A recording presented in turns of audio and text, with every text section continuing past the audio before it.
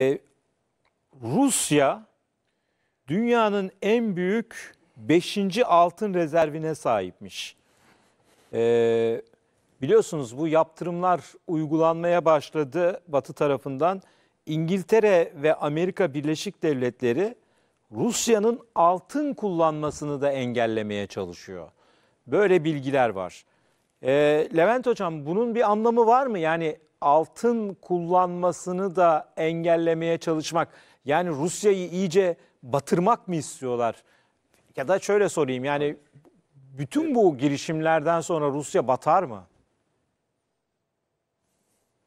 Yani Rusya batmayacak, zorlanacak doğru ama Rusya batmayacak. Şimdi bu altın meselesine biz şöyle bakarız Sayın Hakan. Merkez bankaları rezerv tutarlar. Bu rezervlerin bir kısmını altın olarak tutarlar, bir kısmını döviz olarak tutarlar. Bu döviz dolar olabilir, euro olabilir. Rusya son dönemde Çin yuanı da tuttu. Çin'le olan ticaretinde e, karşılıklı kullanabilmek açısından. Şimdi bu bu mesele ne zaman başladı? Bu dünya tarihinden beri e, ülkeler özellikle merkantalist dönemin dönemden bu yana kıymetli madenleri rezerv olarak tutarlar. Lazım olduğunda kullanmak için. 1944 yılında Bretton Woods'ta Amerika Birleşik Devletleri 2. Dünya Savaşı'nı kazanacağı netleşince 33 ülkeyle bir konferans topladı. Orada siz de altın tutmayın. Altın e, yerine dolar tutun ama siz doları getirdiğinizde ben size bunun karşılığında bir ons karşılığında e, 35 dolar vermeyi taahhüt ediyorum dedi 1944'te ve bugünkü küresel ekonomik sistem başlamış oldu. Uluslararası Para Fonu, Dünya Bankası gibi kurumlar 1944 sonrasında çıktı. Şimdi bunu neden anlattım? Şunun için anlattım. Amerika Birleşik Devletleri zaten e, kendi dolarını ve altını da kendi dolarına bağlayarak ülkeleri zaten 1944'te esir aldı finansal sistemin içerisinde. Şimdi yapmaya çalıştığı şey ne? Bu finansal çıkışları engellemeye çalışıyor. Şimdi e, Rusya'nın altını takas için nerede tuttuğunu tam olarak bilmiyoruz. Eğer yurt dışında tutuyorsa çok ciddi problem var. Yurt içinde tutuyorsa bu altınları bunları bir şekilde kullanır. Yani bu bilinmez bu, mi yani? Bu bilinemez yönetir. bir şey mi? Bu böyle meçhul müdür yani gizemli bir yani, şey mi? E, yani şunu biliyoruz mesela Türkiye 2017-2018 yılında New York Fed'de ve e, Bank of England'da yani İngiltere Merkez Bankası'nda tuttuğu 116 ton altını uçaklara yükledi ve Türkiye'ye getirdi. Yani Çünkü İran örneği Hayır şunu Venezuela, soruyorum. Evet. Rusya'nın Rusya'nın altınını nerede tuttuğu bilinmez mi? Bilinemez mi yani? Putin'in altınları varsa İngiltere'de el koyarlar şimdi bu kadar büyük bir mücadelenin Evet ortasında. resmi yani resmi resmi oranları resmi oranları yani e, Rusya Merkez Bankası'nın e, ilan ettiği resmi oranlardan biliriz bunu. Yani bunun bir kısmı e, Avrupa Birliği ülkelerinde ve Amerika'da olduğuna ilişkin e, bazı veriler var. Ama önemli olan şu Sayın Hakan buradaki teknik konu şu. Altınları dışarıda tutma meselesi Altını 1944'ten sonra karşımıza çıkmıştı. Ve özellikle 2000'li yılların başından itibaren Türkiye'de 2013'ten sonra e, e, Halkbank davasıyla başına gelenler, bölgede yaşananlar, Venezuela'nın altınlarının e, yani yurt dışındaki altınlara erişiminin engellenmesi, İran'ın rezervlerine mahkeme kararıyla el konulması gibi olaylardan sonra Türkiye 2017-2018'de altınlarını getirdi. Şimdi büyük ihtimalle Rusya da getirmiştir zaman içerisinde bu altınlarını.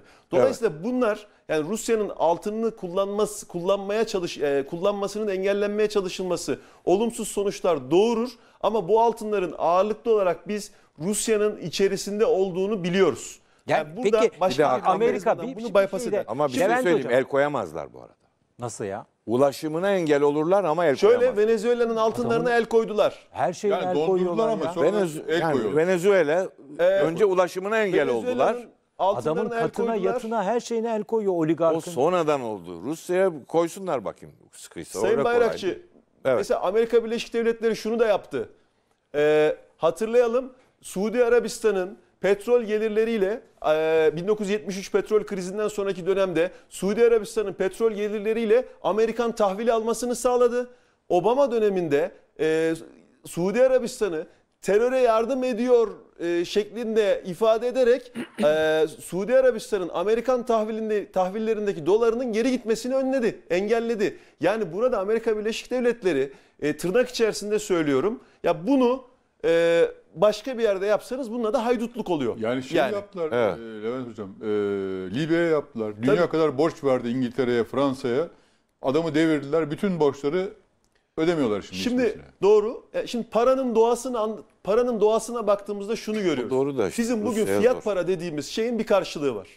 Ya o o bir yükümlülük getiriyor. Örneğin bugün mesela bir e, çek diyelim. Yani kağıdın üzerinde bir değer yazıyor. E, o çek karşılıksız çıkarsa o bir kağıt parçasına dönüşüyor. Altın böyle bir varlık değil.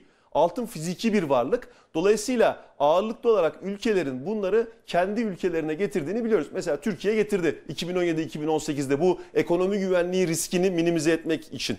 Ee, ve uçaklarla geliyor bu bildiğiniz uçak kargo Peki, uçaklarla. ya ben şeyi merak altınlar. ediyorum. Fiziki olarak çıkıyor. İngiltere ya da Amerika Rusya'nın altınlarını kullanmasını mı engelleyecek? Yani kull... Hakan Bey bir anlatır Şimdi biz bu altınları Bir, bir dakika Levent Hocam. Şimdi Levent Ne- Hoca'nın ne- ifadesi şu. Diyor ki el de koyabilir diyor. Daha önce koydular diyor. Venezuela da eyvallah. Çünkü Venezuela sabaha kadar bağırsa ne olur? Tamam. Ama Altın, Rusya'nınkine Rusya altınla ticaret yapabilecek mi? ha Rus altın her yerde el al. Ya İran'ı o kadar bloke ettiler. Dünyanın altınıyla dünyanın alışverişini yaptı İran.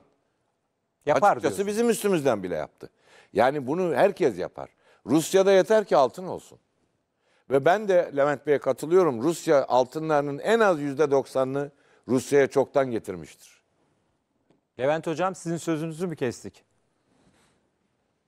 Yani bir şey söyleyeceğim. Ee, belki şunu değerlendirme, değerlendirmek gerekiyor. Rezerv para bir rezerv para birimi değişebilir. Bu devam ederse işte sanal paralar vesaireler falan yeteri kadar ülke bul- bulabilirlerse bu sanal paralarla e, doların saltanatını e, yavaş yavaş sağlanabilir diye değerlendiriyorum.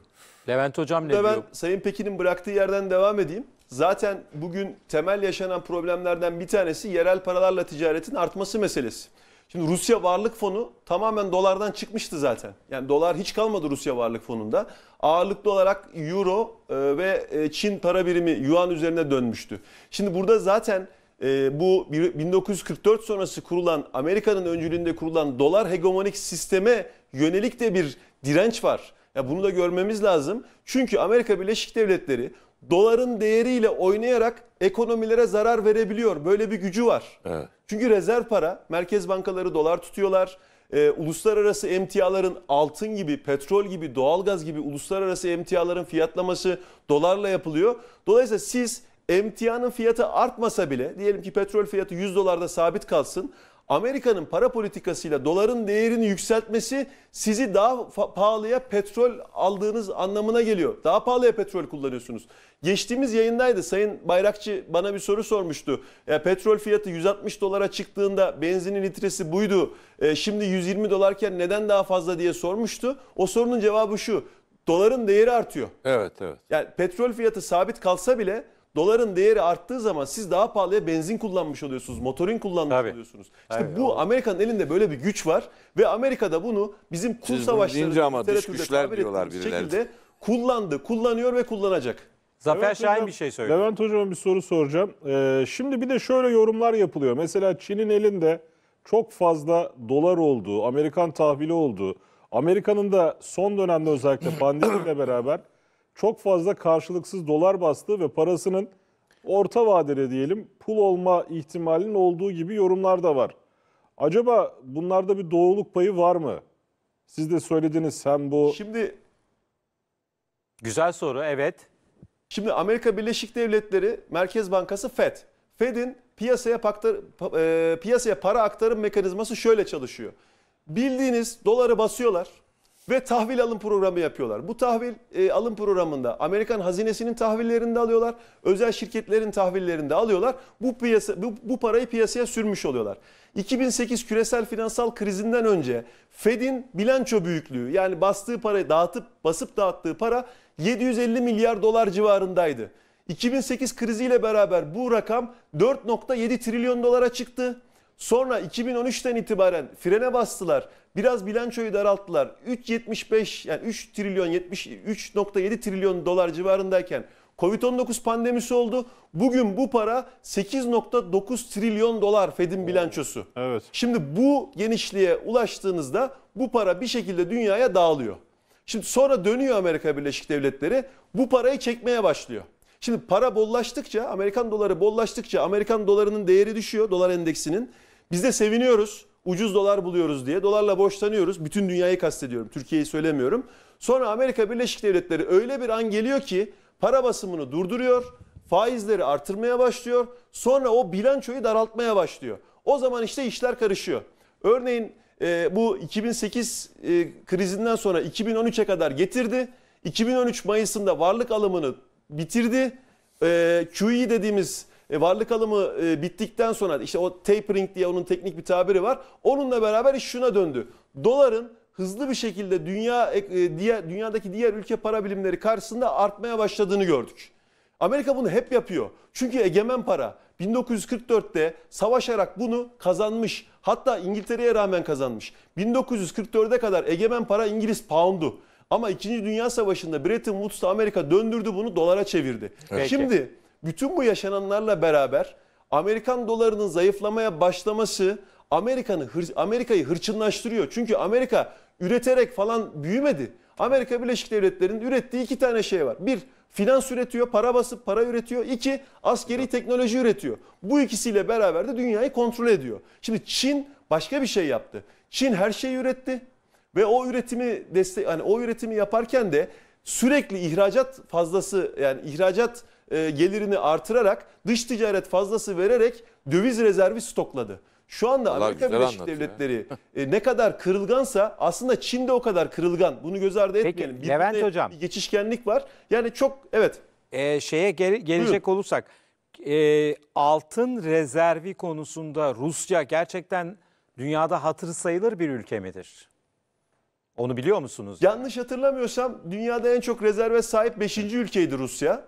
Ee, yani bu rezervin miktarı ekonominin büyüklüğüne göre de e, Çin önemlidir. değil mi? İlk birinci Ee, evet, e, ya şunu söylememiz lazım. E, altını çizmemiz lazım. Yani bu altın rezervini kullanabiliyorsanız bir anlamı var. Yani Hayır, bu şu- rezervi değerlendirebiliyorsanız bir anlamı var. bir dakika. Yani E- eğer bu engellemelerle kullanamazsa evet Bir dakika şunu merak ediyorum. Rezerv deyince toprağın altındakini mi kastediyoruz? Çıkarttığını mı kastediyoruz? Hayır, hayır. Stokları kastediyor. Stok Külçe altın var olarak- elinde külçe altın. Külçe altın olarak tabii külçe altın olarak Merkez Bankası'nın kasalarında veya işte üçüncü noktalarda e, rezerv olarak tuttuğu işte tam bu ekrandaki gibi tuttuğu rezervi ton olarak söylüyoruz bunu. Toprağın altındaki değil. Reklama gidiyor muyuz Onur? Ee, ya bu arada Levent Hocam petrol fiyatlarında da biz geç- ne zaman konuştuk biz Levent Hoca'yla? Geçen hafta. Geçen hafta. Ay geçen hafta konuştuk. Onda 110 dolar galiba. Ya yüz, Evet. e, biz konuştuğumuzda kaçtı? 97'yi görmüştü galiba. Hatta siz sizin söylediğinizi hatırlıyorum Levent Hocam. 97 oldu demiştiniz Evet. canlı yayında. Şimdi Biz yeniden yayına başladığımızda evet Evet şimdi yeniden yükselişte şu anda 116 dolar olmuş petrol. 110 dolar olmuş. Bir kısa ara vereceğim. Reklamdan sonra size şu soruyu soracağım. Ne oluyor petrolde? Evet devam ediyoruz. Ee, tekrar birlikteyiz. Petrol fiyatlarında ee, artış var.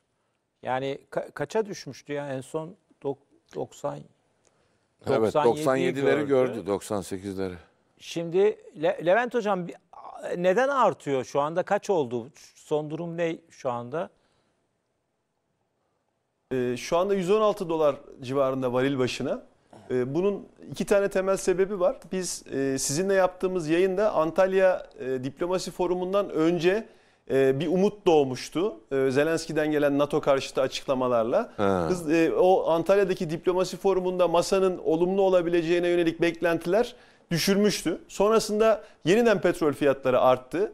E, o zaman da Rusya e, uluslararası petrol fiyatının 28 dolar altında e, petrol arz etmeye başlamıştı. Şimdi son e, cuma ve pazartesi günü yani geçtiğimiz cuma ve bugün yaşanan iki tane kritik gelişme var.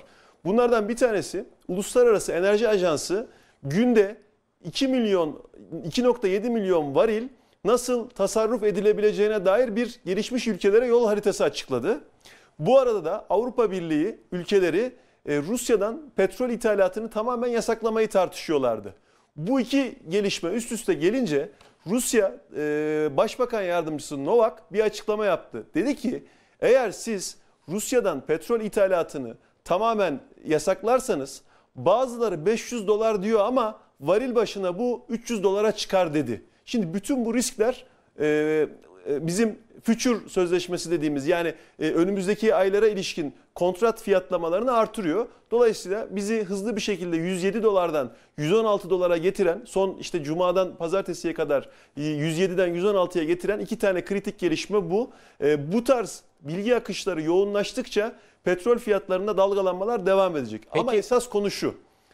Bu savaş bitse bile yani diyelim ki savaş bitti. Barıştılar. Putin hatta Moskova'ya geri döndü. Ukrayna'da hiç kalmadı. Öyle olsa bile petrol arzı ile petrol talebi arasındaki makas giderek açılıyor. Dolayısıyla burada e, yani bizim petrol ihraç eden ülkeler dediğimiz ülkelerin petrol arzını artırmalarının önünde şöyle bir engel oluştu. Bu yeşil mutabakat, yeşil dönüşüm, e, sıfır emisyon kapsamında fosil yakıtların ileride daha az kullanılacağına ilişkin bir beklenti oluşturuldu. Bu ülkeler ve küresel enerji şirketleri de bu alandaki yatırımlarını yapmamaya başladılar. Çünkü petrol talebi devam ediyor ama arz aynı ölçüde artmıyor. Şimdi savaş bitse bile petrol fiyatlarında biz uzun süre 100 doların üstünü görmeye devam edeceğiz. Peki- Şu anda bir risk fiyatlaması var doğru. Araya girebilir miyim? Dünyanın e, önemli petrol... Tabii buyurun. Peki kısa vadede bu artış sürer mi, yükseliş sürer mi? Şöyle e, bu hafta Av- Avrupa Birliği Liderler Zirvesi var. E, 24-25 Mart'ta. E, ilk gününe Biden da katılıyor. Yani Avrupa Birliği Liderler Zirvesi 24-25 Mart'taki Liderler Zirvesi'nin ilk gününe Amerikan Başkanı Biden da katılıyor. E, yani Avrupa Komisyonu'ndan alabildiğim bilgiler e, çok sert bir Rusya yaptırım kararı çıkacağı yönünde. Özellikle Yeni. enerjiyi de kapsayan. Dolayısıyla çok hızlı 130 dolara gidebilir petrol varil fiyatı kısa vadede. Eyvah eyvah. Levent Bey için bir övgüde bulunabilir miyim? Tabii. Maliye Bakanlığı'nın derhal kendisini çağırıp bir danışmanlık görevi vermesi lazım. Ya bırakın bağımsız kalsın Yok, Levent. Bey de. Herkes devletin bir tarafına yapışmak zorunda değil yani. Ülkemiz Değil için Zafer- ya. Zafer ülkemize Say- faydalı olsun. Ama ben Levent Hocam'ı Onur olsun diye çok değil. takdir ederim. Sadece ekonomi değil, enerji konusunda da e, Türkiye'de bence sayılı isimlerden bir tanesi kendisi.